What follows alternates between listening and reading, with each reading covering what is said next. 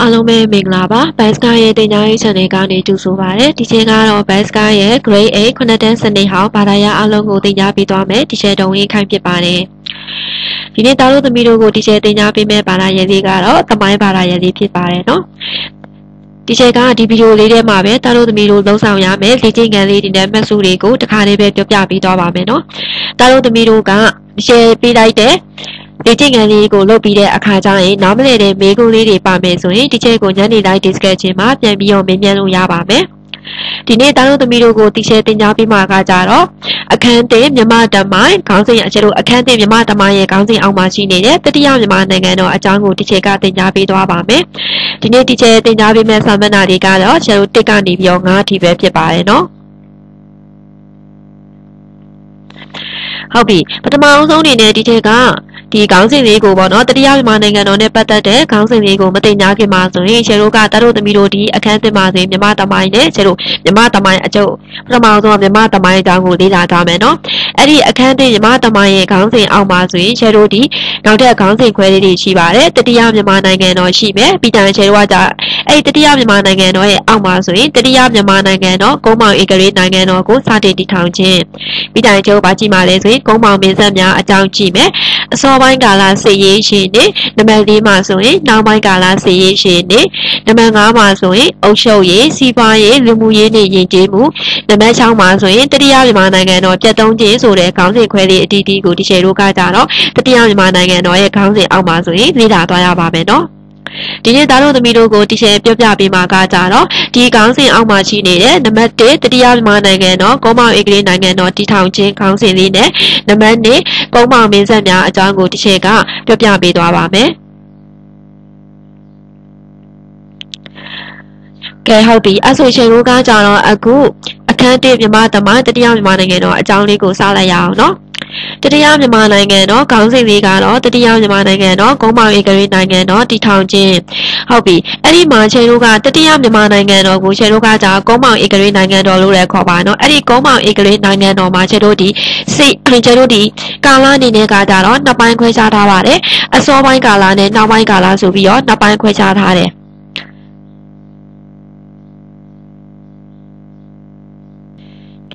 အစောပိုင်းကာလကိုဆိုရင်ခြေတို့ကတာခုနှစ်တက်ကလေးအနေနဲ့ဆိုရင်1955ကနေ1952ကနေပြီးတော့1819အတွင်းကိုအစောပိုင်းကာလလို့ခေါ်ပြီးတော့နောက်ပိုင်းကာလကိုတော့1819ကနေ1885အတွင်းမှာခြေတို့ကနောက်ပိုင်းကာလလို့ခေါ်ပါတယ်ဟုတ်ပြီအဲ့ဒီမှာကုန်းမောင်ဧကလေးနိုင်ငံတော်လို့ပြောလိုက်တာနဲ့ခြေတို့ဒီဒီကုန်းမောင်ဧကလေးနိုင်ငံတော်ကြီးကိုစတင်တည်ထောင်တဲ့သူကဒါဘယ်သူလဲဆိုတာကတလို့သမီးတို့တွေကစဉ်းစားဖို့လိုအပ်လာပြီ အဆိုကူချုံတတိယမြန်မာနိုင်ငံတော်ကုန်းမောင်ဧကလေးနိုင်ငံတော်ကိုစတင်တည်ထောင်တဲ့သူကကြတော့အလောင်းမင်းတရားကြီးဥအောင်စရာဖြစ်တယ်။အလောင်းမင်းတရားကြီးဆိုတာကကြဒါကရှယ်ဝါကြတော့မင်းနာမည်ဖြစ်ပြီးတော့ဥအောင်စရာကကြတော့ကျုံလူပုတ်ကိုနာမည်ပေါ့နော်။အကြတော့ချေတို့ဒီမှာဆိုရင်အလောင်းမင်းတရားကြီးဥအောင်စရာကတတိယမြန်မာနိုင်ငံတော်ကုန်းမောင်ဧကလေးနိုင်ငံတော်ကိုစတင်တည်ထောင်ခဲ့သူဖြစ်တယ်။အဲဆိုချေတို့ကဒီနိုင်ငံတော်ကြီးကိုဘယ်နေရာမှာတွားပြီးတော့တည်ထောင်ခဲ့တာလဲဆိုတဲ့အချက်ကိုလည်းဒီချေတို့ကကြသိဖို့လိုအပ်လာပြီ။ အလောင်းမင်းတရားကြီးကကြတော့ဒီကုန်းမောင်ဧကလေးနိုင်ငံတော်ကြီးကိုသူကကြတော့မုတ်ဆိုးဖို့နော်ရွှေမုတ်ဆိုးဖို့ချွေဖို့ကိုအရှိပြုပြီးတော့တတိယမြန်မာနိုင်ငံကိုစတင်တည်ထောင်ခဲ့တယ်။ကဲဟုတ်ပြီအဆွေရှယ်တို့ကမုတ်ဆိုးဖို့ချွေဖို့ကကြတော့ဘယ်နေရာမှာရှိတာလဲ။ချွေဖို့မျိုးကကြတော့တာဟုတ်သမီးတို့ချွေဖို့မျိုးကိုတော့ကြားဘူးမဲ့ကြားဘူးကြမှာပါနော်။ချွေဖို့မျိုးကကြတော့ချွေဖို့မျိုးတည်ရှိတဲ့နေရာဒီအေယာဝတီမြစ်နဲ့ရှင်တွင်းမြစ်ကြားအေယာဝတီမြစ်အနောက်ဘက်မှာ18မိုင်ခန့်အကွာမှာဆိုရင်အဲ့ဒီချွေဖို့မျိုးလေးကတည်ရှိပါတယ်။ အဲဆိုအခုတီရှယ်ကတားတို့သမီးတို့ကို highlight လေးတွေလုပ်ပေးထားတာကကြာဘာကြောင့်လဲဆိုအခု share ပြောလိုက်တဲ့ပထမစာပိုင်းမှာဆိုရင်အဓိကအရေးကြီးတဲ့ဟာလေးတွေကိုတီရှယ်က highlight လေးတွေလုပ်ပေးထားတာပါနော်ကဲအဲဆိုတီရှယ်တို့ဆက်ကြည့်ရအောင်နော်ဒီတစ်ခါချေရိုးကကြတော့ကုန်းမောင်ဧကလေးနိုင်ငံတော်ကိုစတင်တည်ထောင်တဲ့ လူရဲ့ချေတို့စတင်တည်ထောင်တဲ့လူကမင်းရဲ့ဘဒူလဲဆိုတာလဲတာတို့သမီးတို့သိသွားပြီပြီးကြရင်ကျတော့ဘယ်နေရာမှာစတင်တည်ထောင်ခဲ့တာဆိုလဲသိသွားပြီဆိုရင်ချေတို့ကနောက်ထပ်ခေါင်းစဉ်ခွဲနေတယ်ဘာကိုလေးလာရမှာလဲဆိုရင်အလောင်းမင်းတရားမတိုင်မီမှာဆိုရင်မြန်မာနိုင်ငံကအလောင်းမင်းတရားမတိုင်မီမြန်မာနိုင်ငံသည်ဗဟိုအေးအားလျော်နေ၍အမျိုးသားစီလုံးမှုပြပြနေပုံဆိုတဲ့ခေါင်းစဉ်လေးရဲ့အောက်မှာရှိနေတဲ့အကြောင်းအရာတွေကိုဒီချေတို့ကလေ့လာကြည့်မယ်ဟုတ်ပြီအဲဆိုရှင်တို့ကအလောင်းမင်းတရားကကြတော့တတိယမြန်မာနိုင်ငံတော့ကုန်းမောင်ဧကလေးနိုင်ငံတော်ကိုတည်ထောင်ခဲ့တာဆိုတော့အလောင်းမင်းတရားမတိုင်မီလို့ဒီဒီချေတို့ရဲ့ခေါင်းစဉ်မှာပါလိုက်တဲ့အတွက်ကြောင့်ချေတို့ကအခုကဘာကြောင့်ကိုပြောမှလဲဆိုရင်တတိယမြန်မာနိုင်ငံတော်မလာခင်မှာဒုတိယမြန်မာနိုင်ငံတော်ရဲ့နောက်ဆုံးမင်းဆက်ဖြစ်တဲ့ညောင်ရဲမင်းဆက်အကြောင်းကိုချေတို့ကပြောမယ်။ညောင်ရဲမင်းဆက်ဆိုတာကကြတော့ဒုတိယမြန်မာနိုင်ငံတော်ရဲ့နောက်ဆုံးမင်းဖြစ်တယ် ဟုတ်ပြီဒုတိယမြန်မာနိုင်ငံတော်ရဲ့နောက်ဆုံးမင်းဖြစ်တဲ့ညောင်ရဲမင်းဆက်ကညောင်ရဲမင်းဆက်ကမဟာဓမ္မရာဇာဓိပတိဖြစ်တယ်ဟုတ်ပြီနော်ညောင်ရဲမင်းဆက်ရဲ့နာမည်ကကြတော့မဟာဓမ္မရာဇာဓိပတိအဲ့ဒီမဟာဓမ္မရာဇာဓိပတိကကြတော့အကြီးအရှင်းအလုံးကိုညံဖြစ်တဲ့မင်းတစ်ပါးဖြစ်တယ် အဲ့ကဲဟုတ်ပြီကျွန်တော်အားဆိုရင်တိုင်းပြည်ကိုအုပ်ချုပ်တဲ့မင်းကအရေးကြီးညံပြေးမယ်ဆိုရင်အဲ့ဒီတိုင်းပြည်မှာရှိနေတဲ့စီးပွားရေးတွေစစ်ရေးတွေနိုင်ငံရေးအရှိနေရဘာဖြစ်မှာလဲဆိုရင်တခြားနိုင်ချုပ်တခြားတိုင်းပြည်နဲ့ရှင်မယ်ဆိုရင်ကြာဆင်းနေမယ် အဲ့လိုမျိုးချက်တော့အဲ့ဒီမင်းလက်ထက်မှာဆိုရင်အခုကြာဆင်းနေတဲ့အရှိအနေတွေကိုအခွင့်ကောင်းယူပြီးတော့1952မှာဆိုရင်ပညာတလပေါ့နော်ရှုပ်ဒီမှာနာမည်ရတာဥအောင်လားပညာတလဥအောင်လားဥဆောင်တဲ့ဟန္နာဝတီအင်အားစုကအင်းဝါကိုတိုက်ခိုက်သိမ်းပိုက်ခဲ့တယ် အဲ့လိုအင်းဝါကိုတိုက်ခိုက်သိမ်းပိုက်ပြီးတဲ့နောက်မှာဆိုရင်အဲ့ဒီအင်းဝါမှာရှိနေတဲ့မင်းနဲ့မိဖုရားတွေကိုဘယ်ကိုခေါ်ဆောင်သွားလဲဆိုရင်ဟန္နာဝတီကိုခေါ်ဆောင်သွားခဲ့တယ်။အဲ့ဒီအချိန်ကနေစပြီးတော့ဒီနိုင်ငံရဲ့စီလုံးမှုကကြတော့ပြိုကွဲခဲ့ကြတယ်အဲဆိုဟုတ်ပြီရှုပ်ဒီမှာနိုင်ငံရဲ့စီလုံးမှုကပြိုကွဲနေခဲ့တယ်ဆိုတော့ရှုပ်ဒီမှာဆိုနိုင်ငံတွေကဘာဖြစ်မှာလဲရှုပ်ဒီနိုင်ငံဒီနိုင်ငံကျတို့နိုင်ငံတစ်တစ်ပေါ့နော်ဒီတနိုင်ငံတနိုင်ငံကြီးမှာရှိနေတဲ့ဒီကျတို့ ကောင်းဆောင်တွေရှုပ်အုပ်စုအုပ်စုတွေကွဲပြားလာမယ်အဲ့ဒီအုပ်စုတွေကကြတော့ဘယ်အုပ်စုတွေလဲဆိုရင်မတရားအုပ်ဖို့အရန်မှာဂုဏ်နေဦးဆောင်တဲ့ကွေရှမ်းအုပ်စုခင်ဦးစားငချင်းညိုကောင်းဆောင်တဲ့မြန်မာအုပ်စုမိုးကောင်မိုးညင်ဗမော်တီဘောစားတဲ့ဒေတာများမှာချမ်းပတေတွေများကတစုစားသဖြင့်ဆိုပြီးတော့ချုပ်အုပ်စုတွေကကြကွဲပြားနေကြတယ်အဲ့ဒီအပြင်ကိုပါတဲ့မြန်မာနိုင်ငံရဲ့အနောက်ဘက်မှာရှိနေတဲ့ရခိုင်ပြည်တွေရခိုင်ပြည်တွေတို့ကလည်းတတိတခြားမင်းမှုနေကြတယ်ဒါချိန်လုံးကကြာနိုင်ငံစည်းလုံးမှုပြိုကွဲနေတဲ့အချိန်မှာဆိုရင်အုပ်စုတွေကွဲပြားအကျိုးကွဲပြားသွားတဲ့အုပ်စုတွေရဲ့နာမည်တွေဒီနာမည်တွေကကြတော့ကဲဟုတ်ပြီအဲ့ဆိုရှယ်တို့ကအခုကကြာအလောင်းမင်းတရားအခုတစ်ချက်ပြောပြလိုက်တဲ့အကြောင်းအရာလေးကကြတော့အလောင်းမင်းတရားမတိုင်ပြီးမှဆိုရင်မြန်မာနိုင်ငံကဗဟုအင်အားညော်နေပြီးတော့အမျိုးသားစည်းလုံးမှုပြပြနေပုံကြောင့်ကိုတစ်ချက်ကပြောပြလိုက်တာဒီအကြောင်းအရာလေးပြီးပြီဆိုရင်ရှယ်တို့နောက်ထပ်ခေါင်းစဉ်ခွဲတစ်ခုအနေနဲ့ကကြတော့ ဥအောင်စရာဤစီယုံရေးလုပ်ငန်းများနှင့်အလောင်းမင်းတရားပွဲခံယူပုံဟုတ်ပြီအဲ့လိုမျိုးချဲတို့ရှေ့မှာဆိုရင်အုပ်စုတွေနိုင်ငံရဲ့စီယုံမှုပြပြနေတဲ့အချိန်မှာဆိုရင်အုပ်စုတွေကွဲပြားအုပ်စုတွေချဲတို့ကဗာလဲအုပ်စုတစုတစုစီကွဲပြားခဲ့ရတယ်အဲ့လိုအုပ်စုတွေကွဲပြားနေတာကိုအဲ့လိုအကွဲကွဲပြားပြားဖြစ်နေတဲ့အချိန်မှာမုံဆိုးဖို့ရွာတကြီးလို့ခေါ်တယ်မုံဆိုးဖို့ရွာတကြီးဥအောင်စရာကကြတော့အင်းဝမကြဆုံးပြီအချိန်ကလေးကဟုတ်လားကျတို့စောနာတော်ကအင်းဝကိုဘသူတွေကတိုက်ခိုက်ခဲ့ရလဲဆိုရင် ဟန္နာဝတီအင်အားစုကတိုက်ခိုက်သိမ်းမိုက်ခဲ့တယ်။အဲ့လိုမျိုးအင်းဝါကမကြဆုံးမီအချိန်ကလေးကအင်းဝါကိုမတိုက်ခိုက်မီအချိန်ကလေးကမုံစိုးဝင်ရတကြီးဥအောင်စရာကကြတော့သူ့မိမိဒေတာသူ့ကိုသူအုပ်ချုပ်တဲ့ data မှာရှိနေသူ့ရဲ့ data လုံခြုံရေးနဲ့အဲ့ဒီမှာရှိနေတဲ့စီယုံရေးလုပ်ငန်းတွေကိုဆောင်ရွက်ခဲ့တယ်။ဟုတ်ပြီ။ အဲ့ဒါသူကဒီမှာချလို့ပြောလိုက်တယ်မိမိ data လုံခြုံရေးနဲ့စီယုံရေးလုပ်ငန်းတွေကိုဆောင်ရွက်ခဲ့တယ်ဆိုတော့သူဘယ်လိုမျိုးစီယုံရေးလုပ်ငန်းတွေကိုဆောင်ရွက်ခဲ့တာလဲဆိုတာကိုဒီချေတို့ကသိဖို့လိုအပ်လာပြီ။ကဲဆက်ကြည့်ကြမယ်နော်။အဲ့ဒီမှာသူကကြတော့မောင်ဆိုးဖို့ရွာမောင်ဆိုးဖို့ရွာနဲ့သူ့ရဲ့အခုသူအုပ်ချုပ်တဲ့ပတ်ဝန်းကျင်မှာရှိနေတဲ့46ရွာကိုစုစည်းခဲ့တယ်ဒါစီယုံရေးလုပ်ငန်းလုပ်လိုက်တာပြီးတော့အဲ့ဒီမောင်ဆိုးဖို့ရွာမှာလည်းထန်းလုံးခံတန်းမျိုးကိုအခိုင်အမာတိဆောက်တဲ့ကျုံမြောင်းတွေကိုလည်းတူးထားစေတယ် တူရဲ့ဒီမုံဆိုးဖို့ရအတွင်းမှာရှိနေတဲ့သူ့ရဲ့ပြိုရတူအားလုံးရှုံးပါလေဆိုလူငယ်လူရွယ်တွေအားလုံးကိုစစ်အသက်ပညာကျတို့တို့ဒီစစ်တော့ပါတော့ဒီစစ်တိုက်ရှင်တဲ့ဆိုင်တဲ့တို့တနိုင်ငံနဲ့တနိုင်ငံစစ်တိုက်ပြီးဆိုရင်သူကဘာလဲဆိုရင်တိုက်ခိုက်တဲ့စွမ်းရည်တွေရှိဖို့လိုအပ်တယ်အဲ့လိုမျိုးတိုက်ခိုက်ဖို့အတွက်တော့ဒီကျွမ်းကျင်ဒီစစ်တိုက်ခိုက်တဲ့အခါမှာကျွမ်းကျင်မှုအတွက်စစ်အသက်လုံလာချုပ်ချစ်တင်ချီတိုက်တဲ့စစ်တပ်ပညာတွေအကုန်လုံးကိုတင်ပေးတဲ့ပြည်ရဲသူအားလုံးကို အဲ့လာအပြင်မှာသူကကြတော့မုံဆိုးဖို့ရွာမှာစောက်ထားတဲ့ထန်းလုံးခံတက်ရဲ့အပြင်ဘက်အနီးနားမှာရှိနေတဲ့ဆယ်ရီကန်တွေရေတွင်းတွေနောက်တစ်ခုကကျွန်တော်ပါလဲဆိုရင်စားနေရိတ်ခါတွေထားနိုင်တဲ့အစားအုံတွေလူခုအောင်နားနေနိုင်တဲ့အင်အားတွေအားလုံးကိုကျွန်တော်ဒီရန်သူတွေအသုံးမပြုနိုင်အောင်လို့သူကကြတော့ဖျက်ဆီးစေတယ်လမ်းနဲ့ရိတ်ခါအဲ့လိုမျိုးဖြည့်ဆည်းစိတ်ပြီးတော့မဆိုးဖို့ရတဲ့ကြီးဥအောင်စရာကကြတော့လမ်းနဲ့ရိတ်ခါလူဝင်ရအပြည့်နဲ့နိုင်ငံတော်ကိုထူထောင်ဖို့အတွက်သူကအသင့်ဖြစ်နေပြီ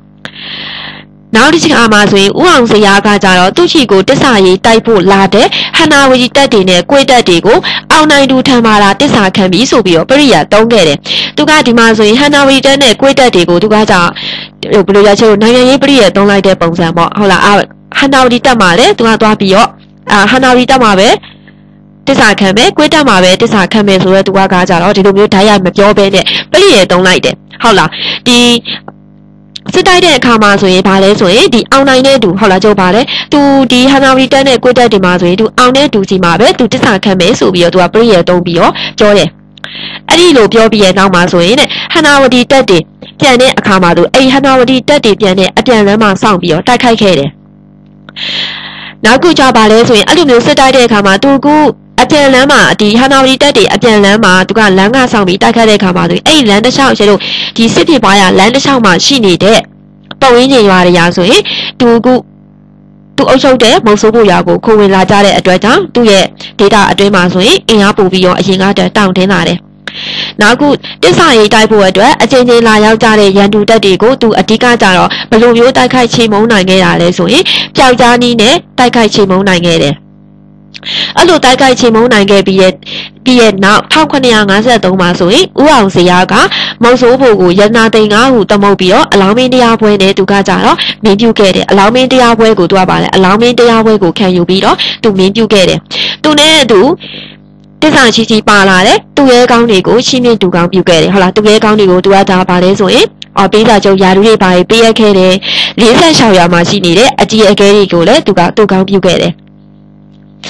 အလောင်းမင်းတရားကတဲ့ခန်းစစ်ကနေပြီးတော့ထိုးစိတ်ကိုပြောင်းခဲ့တယ်ဟုတ်လားအဲ့ဒီနောက်မှာကျတော့အေယာဝတီနဲ့ရှင်းတွင်းမြင့်နှစ်တွေသားဒေတာကိုလည်းတိုက်ခိုက်သိမ်းပိုက်နိုင်ခဲ့တယ်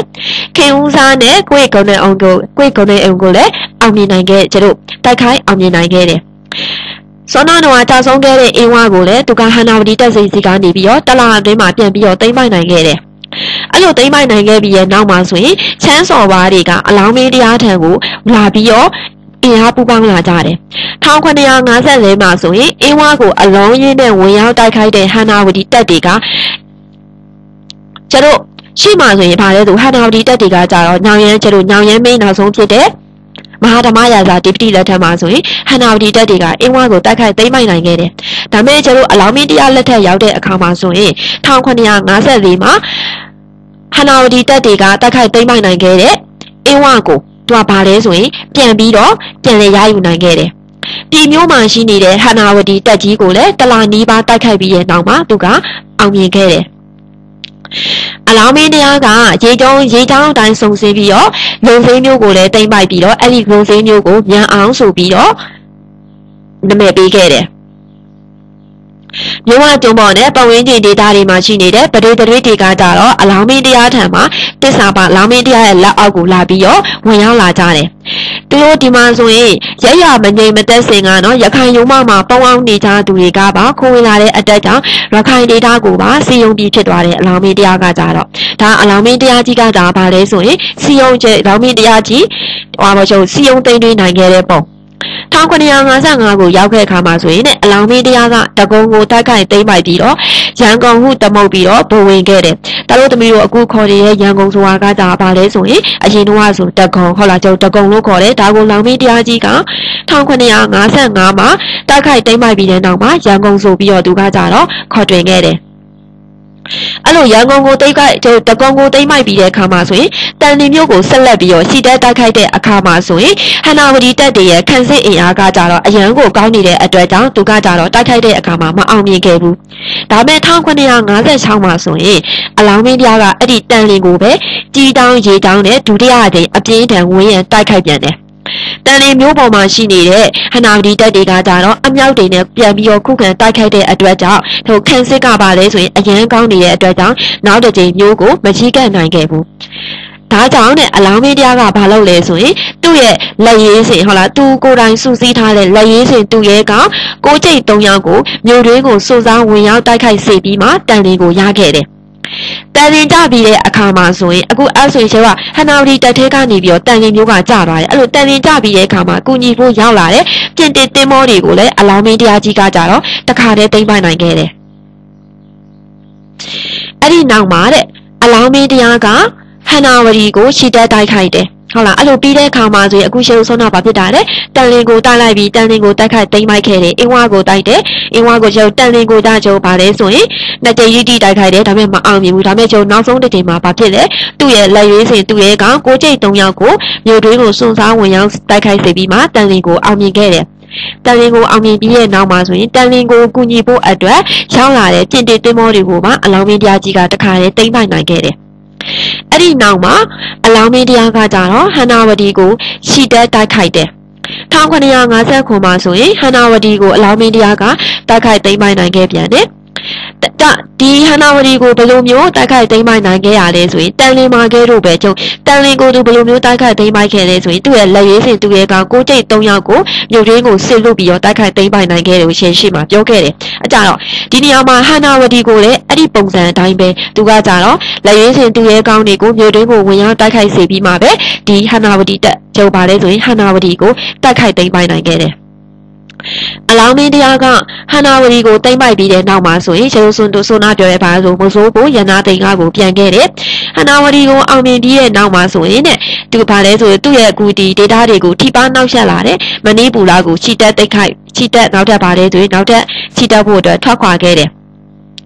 အဲ့ဒီချိန်မှာဆိုရင်ကျေစောနာပြောရဲတကုံဟုတ်လားတကုံလို့ခေါ်တဲ့ရန်ကုန်မှာတတိတခြားပုံကံနေကြတဲ့ဟန္နာဝီသားတို့ကိုတဲ့ဟိုင်းရီတိုးမှာရှိနေတဲ့အင်္ဂလိပ်တို့ကလန်ဒန်နဲ့ကူညီလန်ဒန်တွေပါလဲဆိုနောက်ကနေအပြေးဝထောက်ပံ့ပြီးရောကူညီကြတယ်တဝဲစားကလည်းပုံကံတဲ့အတွက်ကြောင့်ကြီးတောင်းရေတောင်းနေနဲ့ခြိတဲ့တိုက်ခိုက်တဲ့အခါမှာအောင်မြင်ခဲ့ပြန်တယ် 1960မှာဆိုရင်ရိုးတရားကျတို့အလောင်းမင်းတရားကကြတော့ရိုးတရားကိုသူကိုယ်တိုင်ပါလဲဆိုရင်သူကိုယ်တိုင်ဥဆောင်ပြီးတော့ခြိတဲ့တိုက်ခိုက်ပြန်တယ်အဲ့လိုမျိုးသူကကြတော့အယိုးတရားကိုဝင်းရံနေတဲ့အချိန်မှာဆိုရင်နေမကောင်းဖြစ်တဲ့အတက်ကြောင့်ပြန်လည်ဆုတ်ခါခဲ့တာ1960မေ17မှာဆိုရင်တထုံခရိုင်ဘီလင်းမြို့နယ်ကိန်းရွာမှာအလောင်းမင်းတရားကြီးကွယ်လွန်ခဲ့တယ်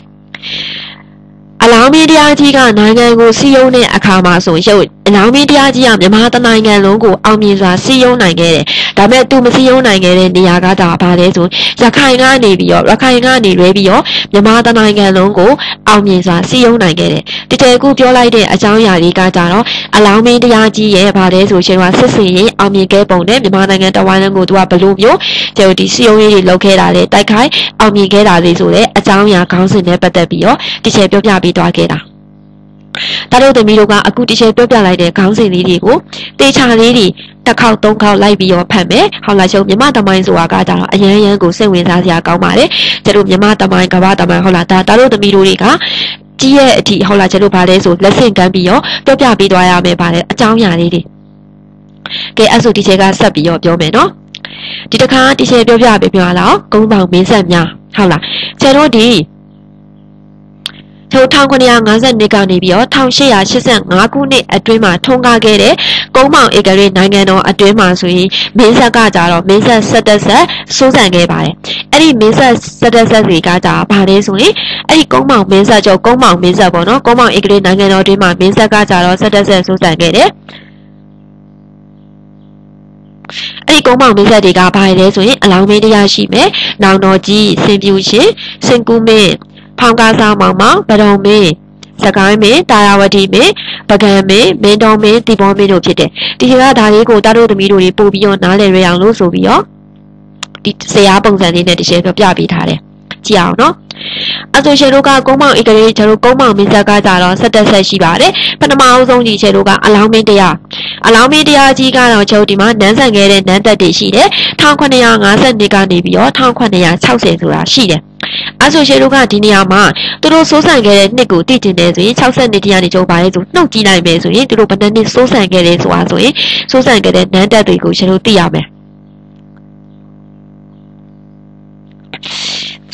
1950နဲ့1960ဟုတ်ပြီနော်ကျွန်တော်50ကနေ60ဆိုတာရှိတယ်ကဲနောက်တစ်ခုကျတော့နောက်ထပ်မင်းဆက်ဒုတိယမင်းဆက်ကကြတော့နောင်တော်ကြီးနောင်တော်ကြီးဒီအလောင်းမင်းတရားကျတော့တေဆုံးပြီးပေါ့နော်တေဆုံးတဲ့နေ့1960ကနေ62မှာ3နှစ်3နှစ်ပဲစိုးစံခဲ့တယ်နော်ကျတော့အလောင်းမင်းတရားကြီးဒီနန်းဆက်ကကျတော့နန်းသက်ဘယ်နှစ်နှစ်ရှိမှလဲဆိုရင်နန်းသက်ဒီ8နှစ်ရှိမယ် နောက်ကျော်တတိယမင်းဒီစင်ပြူရှင်မင်းစင်ပြူရှင်မင်းကကြတော့1963ကနေ1986သူကကျော်ဒီမှာကြည့်မယ်လို့သူကငယ်ရာကနေဟိုကျတို့ပါနန်းတက်တွေကကြောင့်ငယ်ရာကနေကျုပ်ပါလဲဆိုနဲတာကနေများသွားတာဟုတ်လား52ကနေ60 60ကနေ63 63ကနေ86စင်ကူမင်းစင်ကူမင်းကကြတော့86ကနေ1986ကနေ1982 ဟုတ်လားဖောင်ကားဆောင်မောင်မောင်ကကြတော့1982ကနေကျုံ1982ခုနှစ်ရက်ပင်စိုးစံခဲ့တယ်ဘိုးတော်ပဒုံမင်းဘိုးတော်ပဒုံမင်းဒီ1982ကနေ1819ကဲရှုပ်ဒီမှာကြည့်အောင်82ကနေ19ရှုပ်ဒီမှာဘာဖြစ်သွားတော့ကျတို့အပေါ်မှာကကြတော့နဲတာကနေများသွားတယ်ဒါပေမဲ့ရှုပ်ဒီမှာဆိုဘာဖြစ်တော့များတာကနေနဲသွားတယ်ဒါကျတို့ဘာဖြစ်တာဆိုနှစ်တရာပေါ့ကျုပ်ဒီ နှစ်တရာမှာကျုပ်နှစ်တရာပြည့်သွားတဲ့အတွက်ကြောင့်ကျုပ်900 1900မှာကျုပ်တို့1900မှာဆိုနှစ်တရာပြည့်သွားတဲ့အတွက်ကြောင့်ကျုပ်ဒီမှာဆိုတစ်နှစ်တိုးတဲ့ပုံစံဖြစ်သွားတာ1900ကနေ1800ကိုပြောင်းသွားတာ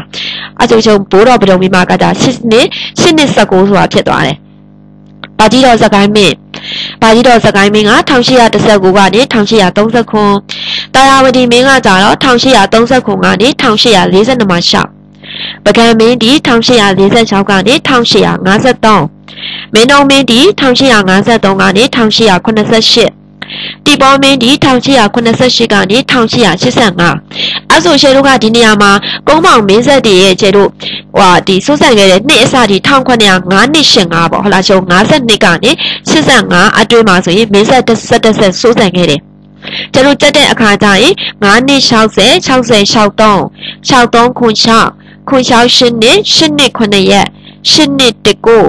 193ခု3ခု46 4653 53ခု8ခု885ဆိုပြီးတော့ချဲတို့ကြက်မဲ့လို့ရတယ်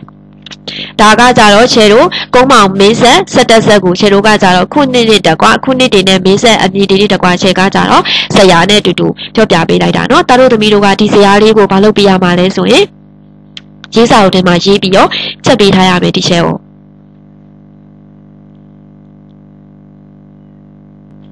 ကဲအဲ့ဆိုရေတို့ကအခုဒီကျဲပြောလိုက်တဲ့တတိယမြန်မာနိုင်ငံရဲ့ခေါင်းစဉ်အောက်မှာရှိနေတဲ့မိကွန်းလေးတွေကိုဖြည့်ကြည့်ကြရအောင်နော်နံပါတ်1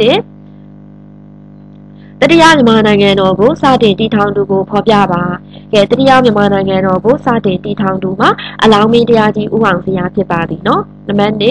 ရွှေဘုံမျိုးသည်နီးတိနေရာတွင်တည်ရှိတတ်သည်ရွှေဘုံမျိုးသည်အေယာဝတီမြင်းနှင့်ရှင်တွင်းမြင်းကြားအေယာဝတီမြင်းအနောက်ဘက်မှ၁၇မိုင်ခန့်အကွာတွင်တည်ရှိပါသည်ဒါသားတို့သမီးတို့ရဲ့စာအုပ်ထဲမှာလည်းပါပါတယ်နော်နံပါတ်3အင်းဝကြာဆုံးပြီးနောက်အုပ်စုများမိတို့ကွဲပြားတတ်သည်ဆရာတို့ရှိမှတို့ဘာဖြစ်မှာလဲညောင်ရမ်းဆရာတို့ဒုတိယမြန်မာနိုင်ငံတော်ရဲ့နောက်ဆုံးမင်းဆက်ဖြစ်တဲ့ညောင်ရမ်းမင်းဆက်မဟာဓမ္မရာဇာဓိပတိဇတ်ထံမှာဆိုရင်ဟန္နာဝတီတက်တီကအင်းဝကိုတိုက်ခိုက်သိမ်းပိုက်နိုင်ခဲ့တယ် အင်းဝါကိုတိုက်ခိုက်သိမ်းပိုက်ပြီးတဲ့နောက်မှာဆိုရင်ရတို့ဒီအုပ်စုတွေအသီးသီးနိုင်ငံရဲ့စီယုံမှုအကျုံနိုင်ငံစည်းလုံးမှုဒီပြက်ပြားပြီးတော့အုပ်စုတွေအသီးသီးကွဲပြားခဲ့ရတယ်။အဲ့ဒီအုပ်စုတွေကကြာကျတို့ဘာလဲဆိုရင်မတရားအုပ်ဖို့ရမ်းမှာဂုဏ်ဦးဆောင်တော်ကွေချမ်းအုပ်စုခေဦးစားငချင်းတို့ခေါင်းဆောင်တော်မြမအုပ်စုဝိုးကောင်းမိုးညင်ဗမော်တီဘောစားတီနဲ့ဆမ်းပရီတွေများကတဆုစားသည်ဖြင့်အုပ်စုများကွဲပြားရရှိသည်ထို့ပြင် မြန်မာနိုင်ငံနောက်ဖက်၌လည်းရခိုင်ပြည်သူတွေတို့ကတတိတခြားမင်းမှုနေကြသည်ဆိုတဲ့စာပိုင်လေးကိုဖြည့်ပေးကြရမယ်နော်နံပါတ်၄အလောင်းမင်းတရားကွယ်လိုမုံကိုဖော်ပြပါကဲ 1960တွင်အကဲအလောင်းမင်းတရားကကျတို့ကရိုးတရားကို1960မှာအလောင်းမင်းတရားကကိုယ်တိုင်ချီတက်တိုက်ခိုက်နေတယ်အဲ့လိုမျိုးချီတက်တိုက်ခိုက်နေတဲ့အချိန်မှာမကြမ်းပါတဲ့အတွက်ကြောင့်ပြန်လည်ဆုတ်ခွာခဲ့ပြီးတော့1960မေ17မှာတထုံခရိုင်ဘီးလေးမျိုးနဲ့ကင်းကမှာအလောင်းမင်းတရားကြီးကကွယ်လွန်ခဲ့ပါတယ်နံပါတ်5 1955တွင်တကုံကိုသိမ်းပိုက်ပြီးမိခဲတို့တမုတ်ခဲ့တဲ့သည် 1955တွင်တကုံကိုသိမ်းပိုက်ပြီးရန်ကုန်မှုတမုတ်ကဘိုးဝင်ခံခဲ့ပါသည်နံပါတ်6မြစ်တီးခုနှစ်တွင်ဥအောင်စရာသည်မြစ်တီးပွဲကိုခံယူခဲ့တဲ့သည်1953ခုနှစ်တွင်ဦးအောင်စရာသည်မုတ်ဆိုးဘုံကိုရတနာသိန်းကားဟုသမုတ်၍အလောင်းမင်းတရားပွဲဖြင့်မင်းပြူခဲ့ပါသည်နံပါတ်9ကုန်းမောင်ဧကလေးနိုင်ငံတော်ကိုဤသို့ခွဲခြားတတ်မှတ်နိုင်တဲ့နည်း ကုန်းမောင်ဧကလေးနိုင်ငံတော်ကိုအစောပိုင်းကာလ1950နဲ့1819နှစ်နောက်ပိုင်းကာလ1819 1885ဟုတတ်မှတ်နိုင်ပါသည်ဒါတာတို့သမီးတို့ရဲ့ပထမဦးဆုံးစားပိုင်လေးအစမှရှိပါတယ်နော်နံပါတ်၈ဟနာဝတီတံများကအင်းဝါကိုအဘဲကြောင့်တိုက်ခိုက်ခဲ့တဲ့နည်းနောင်ရမင်းစိတ်နောက်ဆုံးမင်းဖြစ်တော့မဟာဓမ္မရာဇာဒီပတိမင်းဒီအကြီးချင်းဉာဏ်ပြင်းတော်မင်းတစ်ပါးဖြစ်တယ်။ ဒါကြောင့်အဲ့ဒီမင်းလက်ထက်မှာစီးပွားရေးနိုင်ငံရေးစစ်ရေးကြီးခြားစင်းနေခဲ့တယ်။အဲ့ဒီချိန်တွေကိုခွင့်ကောင်းယူပြီးတော့1955မှာ1952မှာပညာဒလဦးအောင်လာဦးဆောင်တဲ့ဟနာဝတီအင်အားစုကအင်းဝါကိုတိုက်ခိုက်ခဲ့တယ်။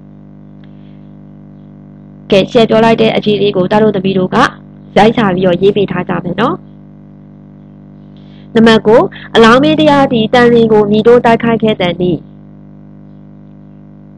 ကဲအဲ့ဆိုချေတို့ကဒီမှာအလောင်းမင်းတရားကတန်ရင်ကိုဘယ်လိုမျိုးတိုက်ခိုက်သိမ်းပိုင်နိုင်ခဲ့တာလဲဆိုရင်1955မှာအလောင်းမင်းတရားကတန်ရင်မျိုးကိုဆက်လက်တိုက်ခိုက်တဲ့အခါမှာ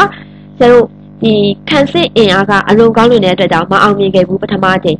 1956မှာဆိုရင်ဒုတိယအကြိမ်အနေနဲ့လောင်မင်းတရားကတန်လီကိုကြီးတောင်းရေးတောင်းနေတဲ့အပြင်းထန်ဝင်းရံတိုက်ခိုက်ခဲ့တယ်။ဒါပေမဲ့တန်လီမျိုးပေါ်ကနေပြီးတော့အမြောက်တွေနဲ့ခုခံတိုက်ခိုက်တဲ့အတွက်ကြောင့်မျိုးကိုထပ်မံပြီးတော့မချီးကန့်နိုင်ခဲ့ဘူး။ နောက်ဆုံးမှဆိုရင်အလောင်းမင်းတရားကိုယ်တိုင်စူးစီးထားတဲ့လက်ရွေးစင်တူရဲကောင်ကိုတိတ်၃ယောက်ကိုမြို့တွင်းကိုစွန့်စားဝင်ရောက်တိုက်ခိုက်စေတဲ့အခါမှာလားတန်လီကိုတင်ပိုင်နိုင်ခဲ့တယ်။နံပါတ်10 1955တွင်တကုံကိုသိမ့်ပိုက်ပြီးညီကဲတို့တမုတ်ခဲ့တဲ့နီ1955တွင်တကုံကိုသိမ့်ပိုက်ပြီး ရန်ကုန်ဟုတမုတ်1955တွင်တကုံကိုသိမ့်ပိုက်ပြီးရန်ကုန်ဟုတမုတ်ကဘိုးဝင်ခံခဲ့ပါသည်ဒီချိန်ကအခုနံပါတ်9နဲ့နံပါတ်10မှာဆိုချိန်ကမိကုံးလေးကိုစစ်တူလေးပေးထားပြီးပါเนาะတာတို့သမီးတို့ကတပုတ်ပဲဖြည့်လုံလောက်ပါတယ်ကဲအဲ့ဆိုရှယ်တို့နောက်ထပ်မေးခွန်းလေးကိုဆက်ကြည့်အောင်เนาะရှယ်တို့ဒီခါကျရင်မှတ်စုတိုလေးကြည့်မယ်နံပါတ်1ဒီနံပါတ်လေးအခုတစ်ချက်ပြောတဲ့နံပါတ်1 2 3လေးတောင်းဒီဒါတို့သမီးတို့ရဲ့ဖတ်စာအုပ်ထဲမှာပါတယ်မေးခွန်းလေးပဲဖြစ်ပါတယ်เนาะ နံပါတ်1တတိယမြန်မာနိုင်ငံတော်ကိုစတင်တည်ထောင်ခဲ့သူမှာမြေသူဖြစ်တဲ့နီမြည်တိဒေတာကိုအခြေပြု၍စတင်တည်ထောင်ခဲ့တဲ့နီကုန်းမောင်ဧကရိကဲကျုပ်အားဆိုရင်ဘယ်ဖြစ်ဖို့ဖျားမှာလဲဆိုရင်တာတို့သမီးရဲ့ဟုတ်ပထမအဆုံးစာပိုက်မှာရှိရကုန်းမောင်ဧကလေးနိုင်ငံတော်ကိုအစောပိုင်းကာလ1950နှစ်1819နှစ်နောက်ပိုင်းကာလအကဲအဆုရှေက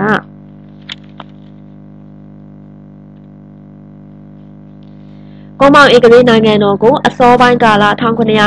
စ်1819နှစ်နောက်ပိုင်းကာလ1819 1885ခုတက်မှတ်နိုင်သည်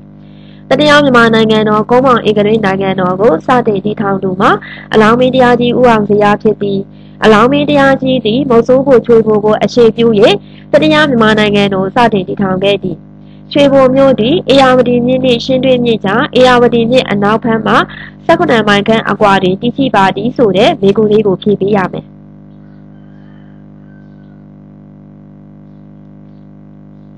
နံပါတ်1အလောင်းမင်းတရားမတိုင်မီမြန်မာနိုင်ငံဒီဗဟိုအင်အားလျော့နေ၍မျိုးသားစည်းလုံးမှုပြပြခံရကြောင်းဆွေးနွေးပါဟုတ်ပြီဒါလေးကိုတားတို့သမီးတို့ကဖြေမယ်ဆိုရင်ညောင်ရမ်းမင်းဆက်ကနေစပြီးဖြေမရမယ်ကျတို့မေကုန်းလေးကိုလည်း ။ရေကဒီမှာဆိုရင်မေကုန်းလေးနဲ့ရေရှိမှာဆိုရင်ခေါင်းစဉ်လေးနဲ့ရေတွဲပြီးထားတယ်နော်။အဆိုတောင်းသမီးတို့ကနံပါတ်၄အဖြေလေးကိုလိုက်စာပြီးတော့ဖြည့်ပေးထားမယ်နော်။နံပါတ်၃အလောင်းမင်းတရားဤနိုင်ငံပြန်လည်စည်းရုံးမှုလုပ်ငန်းများအဘဲကြောင့်အောင်မြင်မှုရခဲ့သည်။ကဲကျတို့အလောင်းမင်းတရားကဘာကြောင့် ကျတို့နိုင်ငံကိုပြန်လည်စည်းရုံးမှုစည်းရုံးတဲ့အခါမှာတဲ့ဘာကြောင့်အောင်မြင်မှုရရှိခဲ့တာလဲဆိုတာကိုတာတို့တမီတို့ကဖြေပေးရမယ်ပထမအောင်ဆုံးအကြောင်းရင်းကကျတော့နံပါတ်1ချက်ဒီဘာကြောင့်လဲဆိုရင်မုံစိုးဖို့ရွာတကြီးဥအောင်တရားကကြတော့အင်းဝမကြဆုံးနဲ့ကျုံအင်းဝမကြဆုံးပြီအချိန်ကလေးကသူ့ရဲ့ဒီမုံစိုးကိုရွာကြီးဦးအောင်စေရအုပ်ချုပ်တဲ့ဒေတာလုံခြုံရေးအနေနဲ့စီယုံရေးလုပ်ငန်းတွေကိုသူကတာတူတင်ဆောင်ရွက်နိုင်ခဲ့တယ်။ အင်းဝကြဆုံးတဲ့အချိန်မှာဆိုရင်ဦးအောင်စေရကလက်နက်ရိတ်ခါလူတူအင်အားအပြည့်နဲ့နိုင်ငံတော်ကိုထူထောင်ဖို့အသင့်ဖြစ်နေတယ်။နောက်တစ်ချက်ဒီဦးအောင်စရာကတစ္ဆာရေးတိုက်ဖို့လာတဲ့ဟန္နာဝတီတက်တွေနဲ့ကွေးတက်တွေကိုပရိယေသုံးပြီးတော့သူကတစ္ဆာမခံဘဲနဲ့နေနိုင်ခဲ့တယ်။တုံတာမြောင်အဆက်တီဥအောင်ဇေယကအလောင်းမင်းတရားပွဲနဲ့မင်းပြုပြီးရဲ့နောက်မှာသူနဲ့သူပါလာတဲ့သူရဲကောင်းတွေကိုလည်းမမေ့မလျော့ပဲနဲ့ သူရဲကောင်းတွေသူရဲကောင်းပြုတ်ခဲ့တယ်ချင်းချင်းချုပ်ချင်းချင်းတင်းတဲ့လူချုပ်ပါလဲဆိုရင်မြောက်စားတဲ့လူကိုမြောက်စားခဲ့တဲ့ပုံစံဒါအပြင်46ရာမှာရှိနေတဲ့အကြီးကဲတွေကိုလည်းသူကောင်းပြုတ်ခဲ့တယ်အလောင်းမင်းတရားကချမ်းမုံစားတဲ့တိုင်းရင်းသားတွေနဲ့တိုင်းရင်းသားစီလုံးညီညွတ်မှုကိုအခြေခံပြီးတော့နိုင်ငံပြန်လည်စည်းရုံးမှုလုပ်ငန်းတွေကိုဆောင်ရွက်ခဲ့တဲ့အတွက်ကြောင့်အောင်မြင်ခဲ့ရခြင်းဖြစ်တယ်။ကဲအဲ့ဒါတားတို့သမီးတို့ဒီနံပါတ်3နဲ့အဖြေလေးကိုလည်းရမယ်လို့ဒီချက်ထင်ပါတယ်နော်။ ကဲနောက်ထပ်မေးခွန်းလေးကိုကြည့်မယ်။အောက်ပါမေးခွန်းများကိုလိုရင်းတာဖြေပါ။ကျုပ်ဒီမှာကုန်းပေါင်မင်းဆက်ညီညာချီတန်နီဟုတ်လားချက်ရှိမှပြောပြခဲ့ပါတယ်ကုန်းပေါင်မင်းဆက်ဒီ17ဆက်ရှိပါတယ်ကုန်းပေါင်မင်းဆက်ရဲ့နောက်ဆုံးမင်းကိုဖော်ပြပါခဲ့တာတို့သမီးတို့ကုန်းပေါင်မင်းဆက်ရဲ့နောက်ဆုံးမင်းလေးဒီဇရာလေးမှာကြည့်ရတယ်သိပါတယ်နော်ကုန်းပေါင်မင်းဆက်များဤအမည်ကိုဖော်ပြပါကုန်းမောင်မင်းဆက်တည်းရဲ့အမည်တွေကကျတို့ရှိမှအောက်ဝါဆိုရင်ဇရာလေးတွေနဲ့တန်းစီပြီးတော့ပြောပြပေးထားပါတယ်။ကျုပ်နံပါတ်၄ နံပါတ်၄မှာကျတို့ဗာပေးထားလဲဆိုရင်နန်းဆန်သက်9ရက်ရှိတော့မင်းကိုဖော်ပြပါဟုတ်လားနန်းဆန်တက်9ရက်ရှိတဲ့မင်း